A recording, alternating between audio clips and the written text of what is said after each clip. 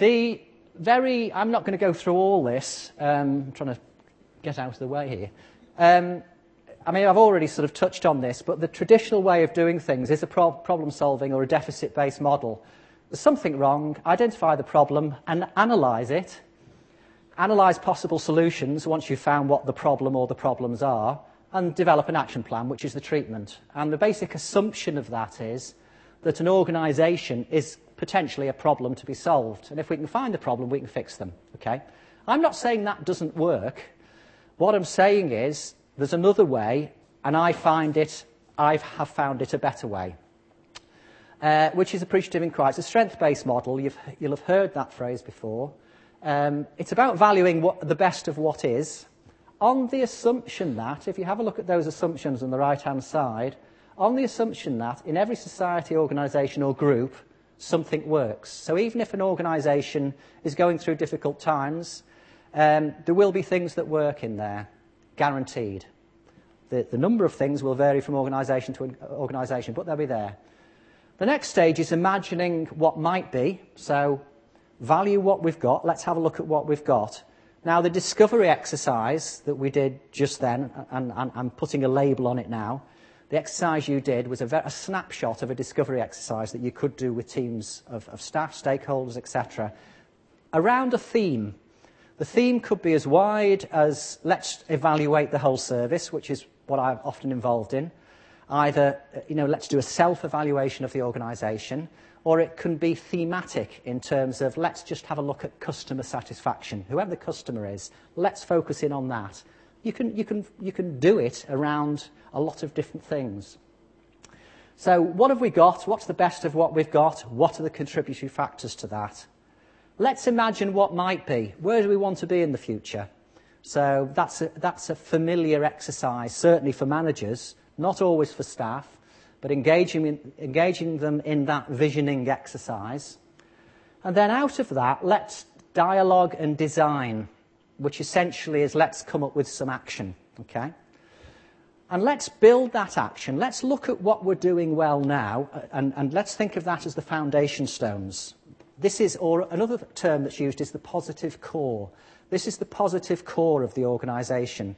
This is what it's doing well based on people's real experiences, not based on some expert coming in with some theoretical model, okay, and you will have the whole gamut of models from one extreme to the other, whatever you, you're trying to do. It's based on people's real experiences. If it's based on real experiences of people, what does that mean? in terms of taking people forward in, a, in an organisational development sense. Sorry? It's much easier to do if it's based on their real experience. It's easier to do because, yeah, it's a circle, isn't it? Because it's based on their own experiences. It, it's meaningful for them. So if, if you go in with some sort of exter- external theoretical model about how things should be, that's your starting point. You will start to lose people, I would suggest. If you base your starting point on where people are at based on their own experiences, I suggest to you, and it's my experience, that you will engage people from the start uh, in terms of a starting point. Look, do the visioning in terms of where people want to be, and then it's about how can we build on what we've got, what's working, in order to reach where we want to be. Um, and it, the basic assumption is that, a, that, that an organisation is potential to be discovered. There is potential in there to discover, uh, and there is a web of strengths that can be built on. There's lots of really interesting things in those assumptions that we haven't got time to discuss.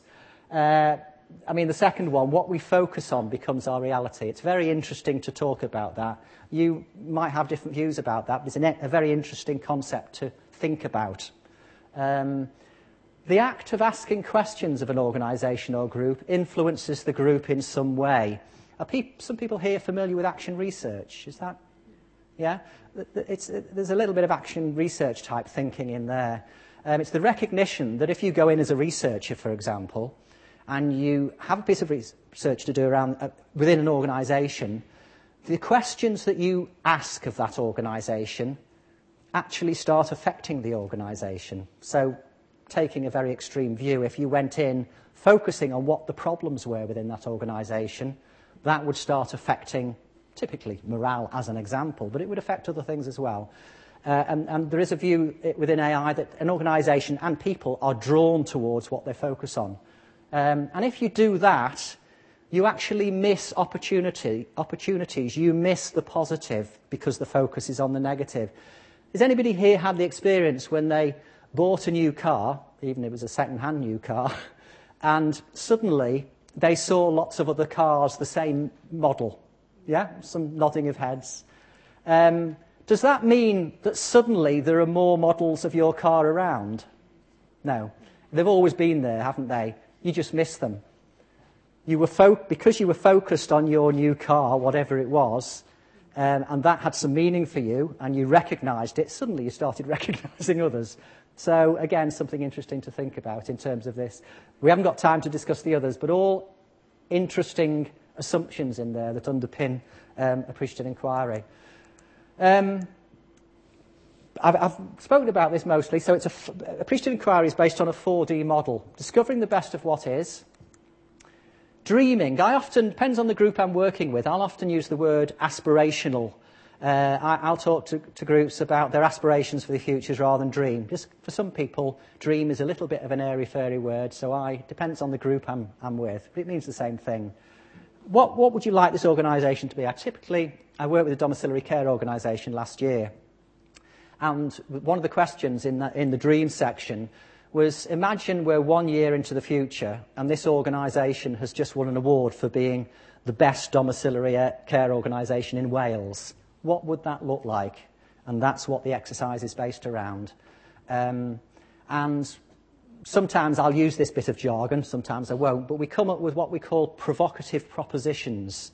They are propositions that they make about how the organisation could be that are provocative, that are stretching, based in reality, but really stretch. Um, and as I say, it's similar to sort of visioning work and, and, uh, that's done, but um, it, it, there are some slight differences. Then there's the design phase. I was really interested. Um, the speaker this morning, where are my glasses? Um, I mean, I like John Seddon this morning. I mean, I like anybody who says it as it is, and he's a great speaker, isn't he?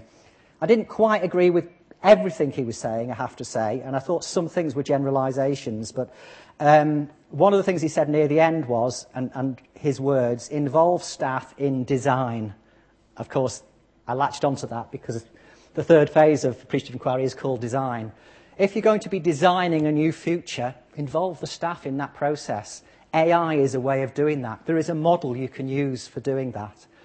And the design phase is about building on, again, I'm repeating myself, but building on what you've discovered is going on already and that is working.